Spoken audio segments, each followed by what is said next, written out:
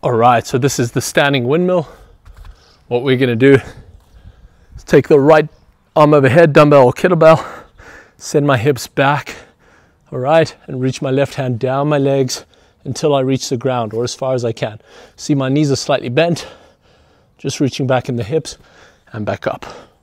All right, go very slow to start with.